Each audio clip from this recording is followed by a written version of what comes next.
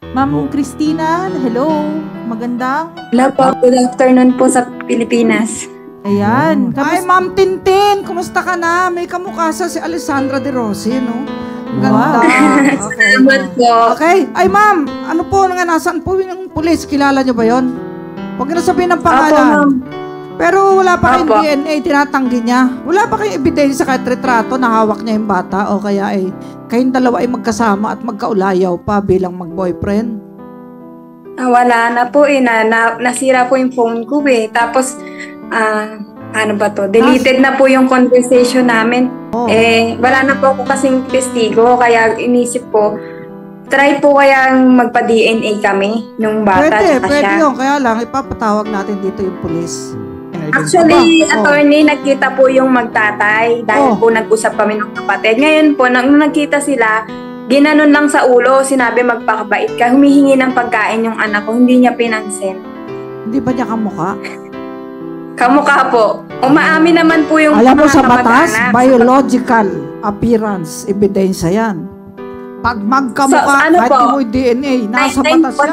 100% po. Okay. 100, umaamin, umaamin naman po yung mga kamag-anak na Ah, sa pagkakamali. Dan Xerox copy nga po. alam mo, yung nanonood pagkakataon. ang PNP rito ha. Yung kanilang ano, ah, social media ano personnel. Meron sila din eh. Para sa Sobra pau. din po kasi yung pag- Sigurado na mo Sobra din monitor ka na tintin. Baka yung asawa, ay yung pulis, Salamat. bigla na magsuporta yan. Matanggal, nasa serbisyo pa ba yan? Yes po. Opo, salamat sige. kasi Medyo. Okay. Inaasahan ko, sabi ko nga, nung panahon ni Noy Noy, parang kampi-kampi. Pinipilit pa nila akong aregluhin. Pulis sa pulis, hindi, hindi ko talaga kaya eh. Okay. Maawitan natin. Sana ito Awitan natin yung administrasyon na to. Baka biglang may tawag Salamat. sa'yo. Hindi pa tayo nagmi-mediation na suportahan na anak niya. Alam mo kayong mga pulis, nagsusumbong ng bawsi cases ang taong bayan sa inyo tapos kayo mismo, kayo ang violent dahil ginugutom niyo yung anak niyo. Mali po yun. Di ba? Sabi mo sa anak mo, bibigyan yun. natin siya ng ustisya, okay? Alam mo, mahirap kaya yung tatay mo, ayaw kong kilalaning anak. Huyo. Oo. Mm. Ang hirap yung masakit. Umiiyak yun. nga po yung bata.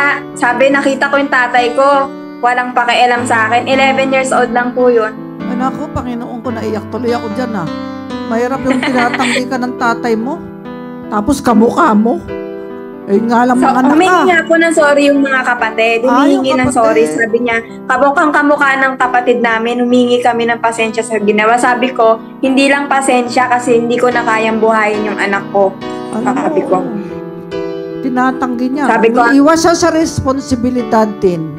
Umiiwas sa responsibilidad yung lalaki na. Ano po, katwiran niya, marami daw akong ano, ganyan, boyfriend, ganyan. Hindi naman po yun. eh. Sabi ko, ready ako magpa-DNA, promise. Ginanon Alam mo, yung siya. mga palikerong lalaki, sila yung puro duda. Ah, kasi gawain nila. Attorney for operation po kasi ako, kaya sabi ko, habang ooperahan ako, ilakarin ko na to. Anong operahin sa'yo? Anong? Gallbladder po, Ah, gallstone. O, Ah, ayusin sige. ko po muna yung sa inyo para ma mapatawag na okay na po magharap kami. Kasi masyadong matikas eh. Tumataas na yung rango niya. Major na? Major Ako, problem. major problem. Gwapo ba siya? Gwapo siya? Konti. Ah, Konti lang. Pero, siya lang ang May Teka ba, siya ba first love mo? Ten? second lang po. Ay, wala na yung first love na wala na, walis na. Oo nga. Di bale, mahal mo pa rin yan kasi sinusumbong mo lang sa akin eh. Eh, baka nilalagay Hindi po. yung, nilalagay yung Hindi po bato kasi sa... naano lang po ako kasi inaano niya yung pagkapulis niya. Hindi, hindi, hindi ko raw kaya. Mga ganon. So naisip Oh. ko, Punta ka sa kilala pau. niyo naman po siguro si Attorney Larry Gadon, no? Try kong lumapit pero nirefer po kayo sa akin ni Attorney Larry Gadon. Ah! Ay, consultant ko yon pero walang bayad. O, sige ate, ate Tin, magkita tayo pag uwi mo ha. Sana- Sige, Yung mga Lagi ganyan, smile. nabigyan ng leksyon. inom ka ng maraming tubig ha. Ah, hanggang di ka na opera, kailangan Opo. tubig. O sige, wag kang magpupuyat. Salamat. Sa mama pupuyat. Okay, thank you. See you. Okay. Ano na nga tayo ngayon? Ito. Alam mo, nalulungkot ako. Dapat ang mga pulis modelo. Protektor ng seguridad ng ating bansa. Peace and order. Tapos yung anak mo, pabayaan mo. Wala kang kwentang ama. Tapos kamukha mo. Aba.